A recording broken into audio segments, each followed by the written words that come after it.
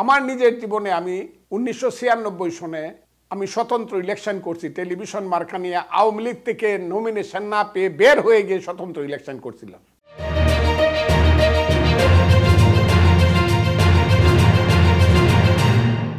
বর্তমান যে সংসদ, অন্যরকম সংসদ এমপির সংখ্যায় বেশি, এখনও জানে না মানুষ কারা বিরোধী দল হবে।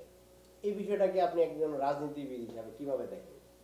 কথাটা কেমন শোনা যাবে জানি না। আন্ডারওয়্যারের যেমন বুক পকেট হয় না, এই ধরনের একটা সংসদের কি বিরোধী দল, কি সরকারি দল কিছুই হয় না। কাজে বিরোধী দল কি হবে, এইটা একটা মুখরোচক আলোচনা চলছে। আমি অভিনন্দন জানাব এই কারণে, অন্য কোনো কারণ না। শেখ হাসিনা যখন বললেন, দামি ক্যান্ডিডেট হইতে পারবে, আমি আর দামি, এবং পরে বললেন, স্বতন্ত্র ক্যান্ডিডেট হতে পারবে, তাদেরকে এক্সপেল করা হবে না, সেই সময়ে আওয়ামী লীগের ভিতর থেকে যারা ক্যান্ডিডেট হয়ে গেল, আমি তাদের সাহসিকতার জন্য তাদেরকে ধন্যবাদ দিচ্ছি। কেন জানেন? আমার নিজের জীবনে আমি উনিশশো ছিয়ানব্বই সনে আমি স্বতন্ত্র ইলেকশন করছি। টেলিভিশন মার্কা নিয়ে আওয়ামী লীগ থেকে নমিনেশন না পেয়ে বের হয়ে গিয়ে স্বতন্ত্র ইলেকশন করছিলাম। এবং সেই ইলেকশনে আমি সাবেক রাষ্ট্রপতি আব্দুল হামিদ সাহেবকে পরাজিত করছিলাম। এটা বাংলাদেশের সব মানুষ জানে এবং শেখ হাসিনাও জানেন। আমি পরাজিত, এবং যদি কেউ বিশ্বাস না করেন, আমি বলব ছিয়ানব্বই সনের ভোটটা গণা হোক। আমার ভোট যদি পাঁচ হাজারের বেশি না থাকে তার চেয়ে, তাহলে জীবনে কোনদিন পলিটিক্স করব না। ছিয়ানব্বই সনের ভোটটা আবার পুনর্গণনা হোক, আর কিচ্ছু চাই না। উনি আমার সঙ্গে ফেল করে, এটা স্বতন্ত্র ইলেকশন করতে প্রথম হলো জনপ্রিয়তা সাহস লাগে। তারপরে জনপ্রিয়তা লাগে। সেই ধরনের হ্যাডাম লাগে। এইটুক যে আওয়ামী লীগ করে এখনও কিছু লোকের মধ্যে সাহস আছে, কিছু জনপ্রিয়তা আছে, এইটা যারা স্বতন্ত্র ইলেকশন করছে এবং ইলেকশন করে যারা পাস করছে তারা দেখাইছে। এই কারণে তাদেরকে আমি মনে করতেছি এখনও কিছু মানুষ চেহারার কিছু মানুষ আওয়ামী লীগে রয়ে গেছে। যারা স্বতন্ত্র পাস করছে, এরা আবার দেখলাম কেউ কেউ কান্দে, বিড়ালের মতো মিউ মা কই গেল? মা কি কয়? দেখি, মা যদি বলে আমারে দূরে রাখবে, আমি দূরে থাকব। মা যদি বলে আমারে ঘর বান্ধে দিব, আমি ঘরে থাকব। মা যদি বলে তার ঘরে থাকতে, তার ঘরে থাকব। আমি খুব তাদেরকে, আমি তাদের প্রায় বেশিরভাগ বয়স আমার ছোট, দুই একজন বড় আছে, আমি খুশি হয়েছি, একজন মুরব্বী মানুষ পাস করছে। তার বয়স বোধহয় এখন ছিয়াশি বছর, উনি পাস করছেন, আমি নামটা আর বললাম না। আমি তাদেরকে অনুরোধ করব যে সাহসিকতা আপনারা দেখিয়েছেন। আপনারা যদি পট করে এসা উইয়া মায়ের খুলে পড়ে যান, তাইলে আপনাদেরকে যারা ভোট দিছে, তারা কিন্তু আপনাদের মায়ের মার্কা, নৌকা মার্কার বিরুদ্ধে ভোট দিছে। তারা জানে, শেখ হাসিনা নৌকা মার্কা যাদেরকে দিছিল, তারাই শেখ হাসিনার প্রিয়। সেই নৌকা মার্কার বিরুদ্ধে যারা ভোট দিছে, এরা সব আওয়ামী লীগ না কিন্তু কাজে আপনার পট করে যদি নৌকা মার্কার বিরুদ্ধে ট্রাক মার্কা বা ইগল মার্কায় ভোট করে আইসা উইরিয়া শেখ হাসিনার কুলে উঠে যান গা।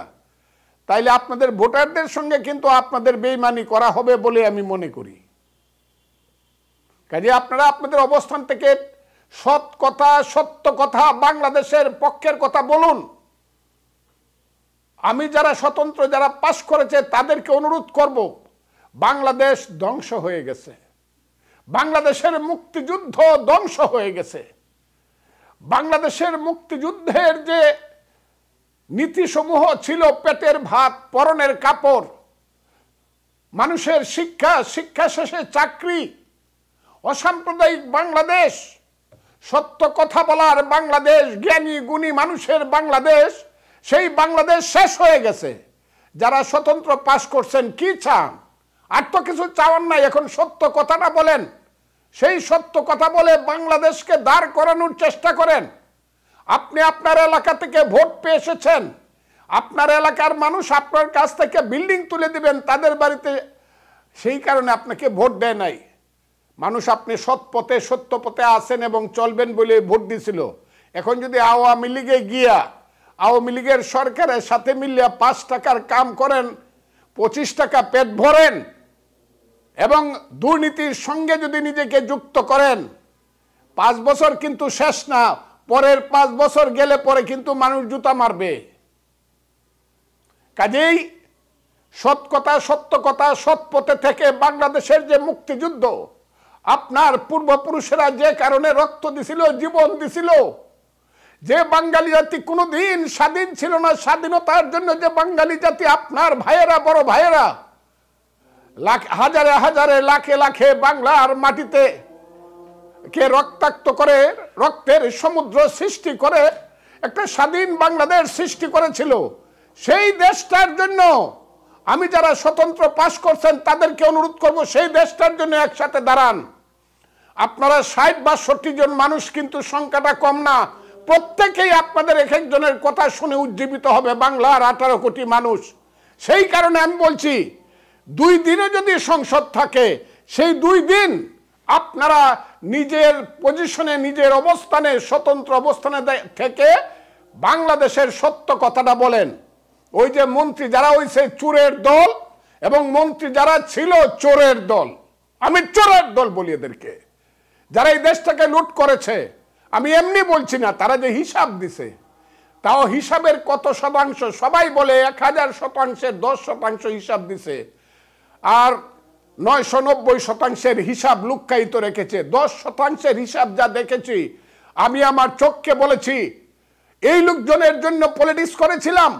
এই লোকজন এক সময় অনেকে আমার সাথে পলিটিক্স করত। এদের এত টাকা এত টাকা লুট করেছে তারা। এই দেশটাকে তারা ফতুর বানিয়ে দিয়েছে। চোখ তুমি অন্ধ হয়ে যাও, বিবেক তুমি বন্ধ হয়ে যাও।